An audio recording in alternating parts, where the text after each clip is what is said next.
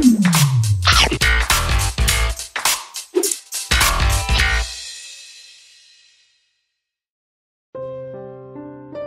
White Ribbon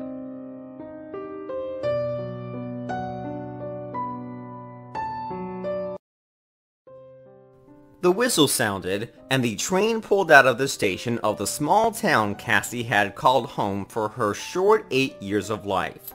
Kassie looked out the train's window and watched the town get smaller and smaller.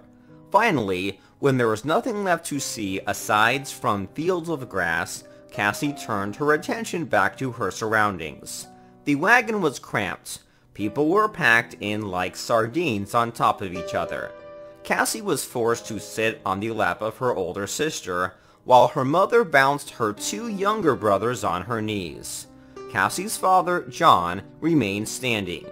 Kassie couldn't keep from wondering what it was like to travel in the privileged first-class wagons, the ones the white people rode in. Kassie had seen them from the train's platform as they boarded. The wagons were almost empty, and they looked to be far more comfortable than the narrow, cramped space with hard plastic benches Kassie's family had been made to ride in. Kassie sighed and tried not to think about how their new life in the big city would be. Their father found a job at a shoe factory in Boston. He moved there a year earlier. He'd only returned to secure passage for them and help them move into the big city. Kassie didn't like it, but she knew that she should always be respectful and grateful to her parents, so she never voiced her opinions to any of them. Are we there yet? Her youngest brother, Billy, complained. They had been traveling for the better part of the day, and they were getting tired and hungry. Kassie had tried to sleep, but she found it impossible with the heat and lack of space. She felt claustrophobic and wished they would arrive in Boston soon too. At last, under a cloudy, moonless sky, the train pulled into the train station. The train station was huge and pulsed with activity. Kassie bounced her leg impatiently as the whites got off, then she was forced to wait some more for them to retrieve their things. At last, it was Kassie's family to disembark. The year was 1922, and segregation laws were being enforced more than ever. Kassie was too young to understand what those laws meant, but she knew that whites and blacks were not allowed to mix. They attended different schools, went to separate restrooms, parks, and even drank from different water fountains.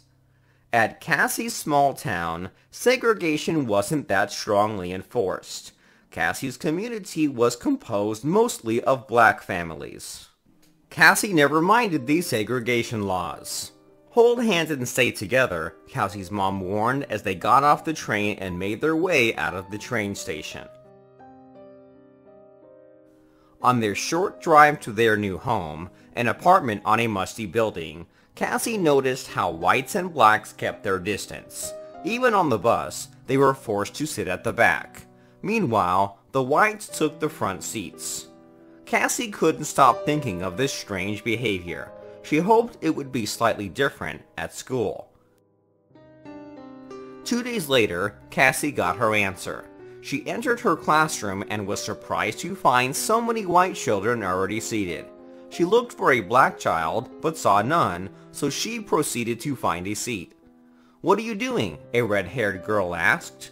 Kassie looked at her puzzled, not sure how to reply. Blacks sit on the back of the room, the girl sneered, jabbing a finger towards the cluster of dirty-looking, broken desks by the back of the classroom. Kassie looked at the collection of desks and frowns. Most were broken with crooked legs, and their surfaces were covered with stains and pencil drawings. The school was too overcrowded for separate classes, so they had to put the children in the same classrooms while still forcing the segregation laws. Kassie hoped that there would be other black children in the class, but as the bell rang, no other children showed up. When the teacher introduced Kassie to the class, everyone looked at her as if she was an odd creature. Some looked at her with disdain, others with open curiosity, but none dared to come close or offer her friendship. The rest of the week wasn't any better. Kassie considered asking her parents more than once to let her move back home with her grandparents. But again, the remarks of being respectful and grateful kept her quiet. Boston was a gray city with tall buildings and little trees. There were a few sunny days, and the air was cold and smelled of fumes. Kassie missed the open countryside, the tall trees, colorful flowers, blue skies, and freshly scented air. She missed the friendly greetings and smiles that she encountered on her way to school every morning. Most of all, she missed her friends and family. Can I sit here? A brown-haired girl with the greenest eyes Kassie had ever seen asked. Kassie jumped startled and fell off the broken chair she sat on. Kassie looked with wide eyes around the cafeteria, her heart beating wildly. Did anyone see it? Kassie thought as she got to her feet and looked at the girl who stood by the table, smiling sweetly at her. Kassie shook her head and said in a soft voice, Please, don't. You will get in trouble. The girl shrugged and set her lunch tray down. She took out a book, placed it beside her food, and asked, Do you like reading? Kassie nodded, unable to say much. She couldn't stop looking at the girl. With so many students crowding the cafeteria, the teachers hardly noticed. The students were too engaged in their talk and games to pay any attention to the two girls. For weeks, Kassie and the girl, whose name was Betty, sat at the old lunch table on the far corner. At first, they didn't talk much, but eventually, they began speaking in hushed voices, reading together, and getting to know one another. Kassie struggled with understanding why blacks and whites had to be separated when they were no different.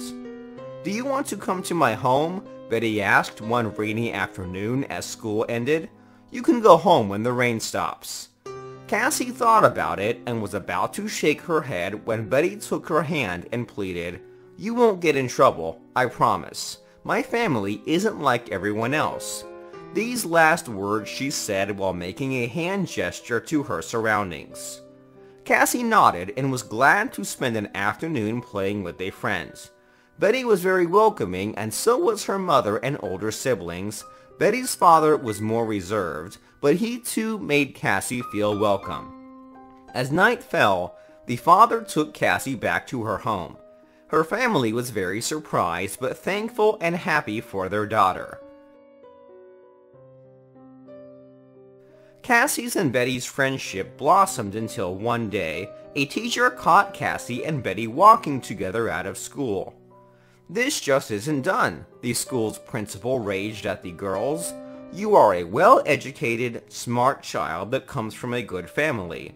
You should know better than to befriend someone like her, the principal said to Betty, glancing at Kassie as if she was a dirty mouse. Kassie felt terrible for getting Betty in trouble. For associating with a white student and breaking the laws, Kassie was expelled from the school. The next public school was too far, Kassie was too little to go to it alone, and her parents couldn't take her. Kassie would have to drop out and find a job like so many poor children of the time did. I'll homeschool her, Betty's mother said the following week to Kassie's parents, but it must be done discreetly. That was how, while everyone went to work and school, Kassie went to Betty's home, making sure she wasn't followed or seen. She took a different route every day. Sometimes she stopped at the market or the small park in case she was being watched.